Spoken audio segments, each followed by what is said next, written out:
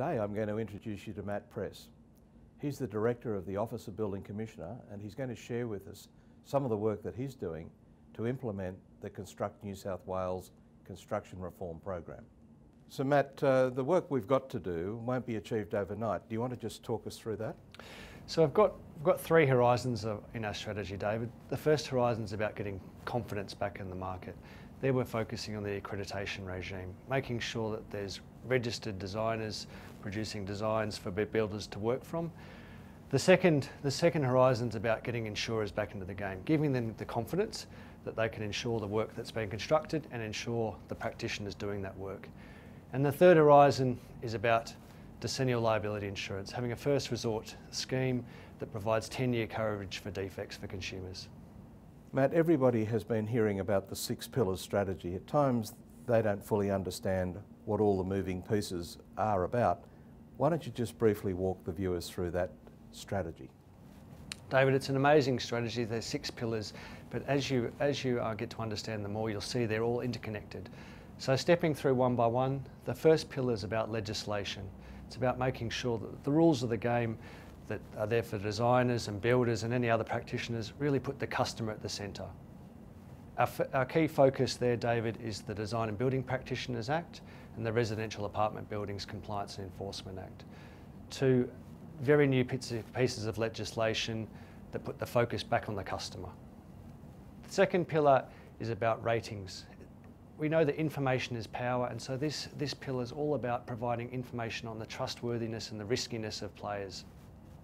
We're going to be working with industry to develop ratings tools so that the regulator, the consumers, the insurers, the bankers can understand where are the risks in the market, who are the players that they should avoid, and who are the players that they should want to do business with.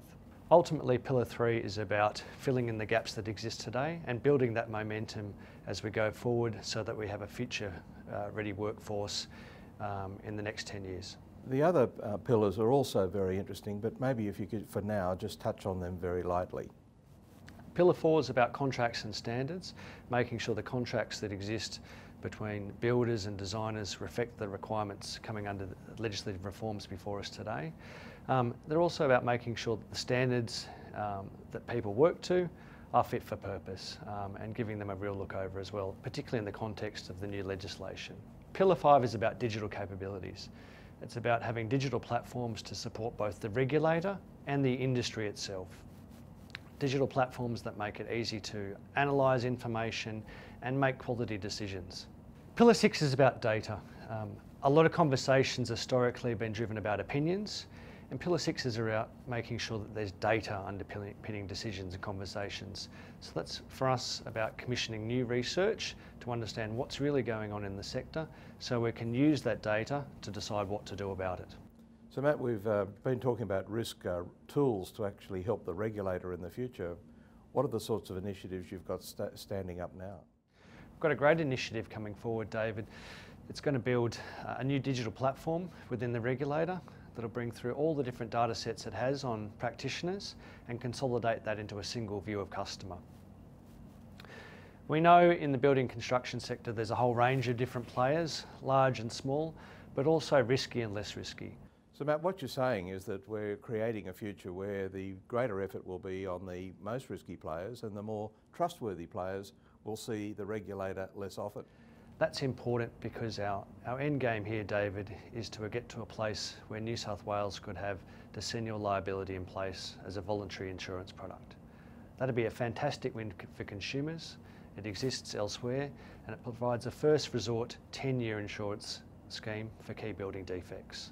As we move into the next year, of course, we're going to have 2022 in our mind. What are the big features of 2022?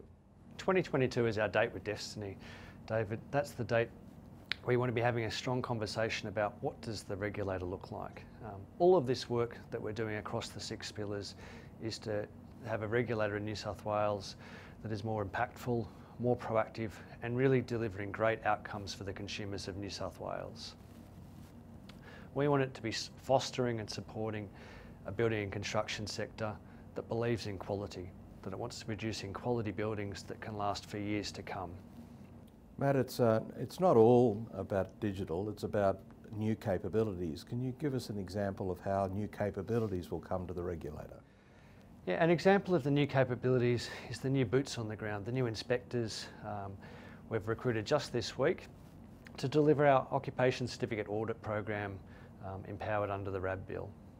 Those people include engineers, architects, certifiers with many years of practical experience on construction sites to help us be a more impactive and proactive regulator.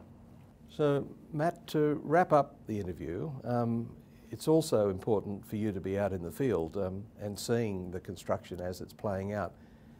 Tell us what you're starting to experience. David, as you can see, I'm out in the field getting my boots dirty, speaking to the constructors that have really got to understand and implement the legislative reforms that we're pursuing under Pillar 1. But I'm also speaking to the 150 odd stakeholders we've put on our consultation groups. These are the leaders of the industry um, representing the peak bodies, and they're going to help us drive change as well. In summary, David, we've got to get the industry to understand the importance of producing trustworthy buildings. That's doing work based off regulated designs that are in compliance with the Australian standards and the Building Code of Australia. And if they don't appreciate that objective, well, they've got to understand that we'll have a regulator that's proactive and impactful, reinforcing the rules of the game. Ultimately, David, these are the changes that will rebuild confidence for consumers in the New South Wales construction industry. Well, thank you, Matt. Uh, that was a very good share of the insights that you're uh, now delivering. And our next interview, we're going to speak to one of the regulators who's going to have the responsibility of leading these changes in the business of the regulator.